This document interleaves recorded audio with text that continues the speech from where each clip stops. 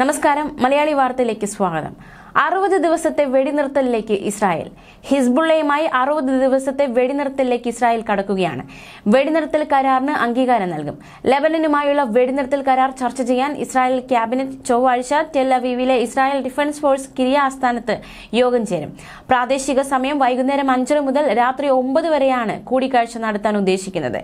പദ്ധതിക്ക് ഇസ്രായേൽ പ്രധാനമന്ത്രി Benjamin Netanyahu തത്വത്തിൽ അംഗീകാരം നൽകി. ഇതിന് പിന്നാലെയാണ് യോഗം ചേരുക എന്ന തീരുമാനത്തിൽ എത്തിയത്. ഞായറാഴ്ച രാത്രി ഇസ്രായേൽ ഉദ്യോഗസ്ഥരുമായി കൂടിയാലോചന നടത്തിയിരുന്നു. നെതന്യാഹു ഹിസ്ബുള്ളയുമായി വെടിനിർത്തലിന് അംഗീകാരം നൽകി. ചൊവ്വാഴ്ച ഇസ്രായേൽ ക്യാബിനറ്റ് നിർദ്ദിഷ്ട കരാറിൽ വോട്ട് ചെയ്യുമെന്നും അത് പാസാക്കുമെന്ന് പ്രതീക്ഷിക്കുന്നതായും നെതന്യാഹുവിന്റെ വക്താവ് പറഞ്ഞു. കരാറിന്റെ ചില വിശദാംശങ്ങളിൽ നിന്ന് മനസ്സിലാക്കാൻ സാധിക്കുന്നത് ഇസ്രായേൽ ഇപ്പോഴും സംവരണമുണ്ട് എന്നാണ്. ഈ റിപ്പോർട്ട് തിങ്കളാഴ്ച ലബനീസ് സർക്കാരിന് കൈമാറും. ചർച്ചകൾ ഒരു കരാറിലേക്ക് പോസിറ്റീവായി നീങ്ങുന്നതായി തോന്നുന്നതായും എന്നാൽ വെടി ഇസ്രായേലും ഹിസ്ബുള്ളയും തമ്മിൽ ഇപ്പോഴും വെടിവയ്പ് തുടരുകയാണ് എന്നുമാണ് അധികൃതർ വ്യക്തമാക്കുന്നത്. വ്യക്തമാക്കുന്നത്.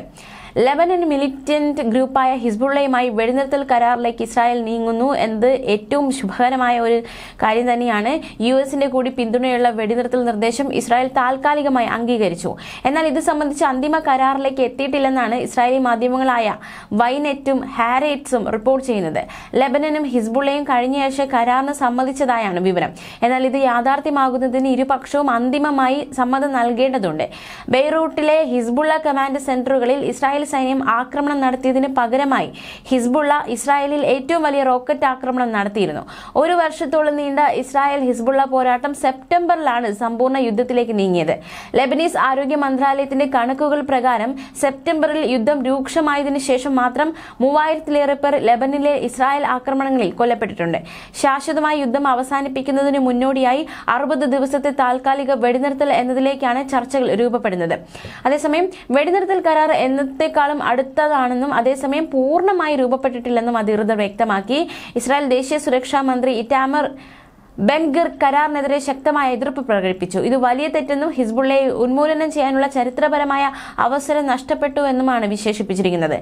ഗാസയിൽ ഇസ്രായേലും ഹമാസും തമ്മിലുള്ള സാധ്യതയുള്ള വെടിനിർത്തൽ കരാറുകൾ തടയാൻ ബെൻഗർ ദീർഘകാലം പ്രവർത്തിച്ചിട്ടുണ്ട് എന്നതും ശ്രദ്ധേയം.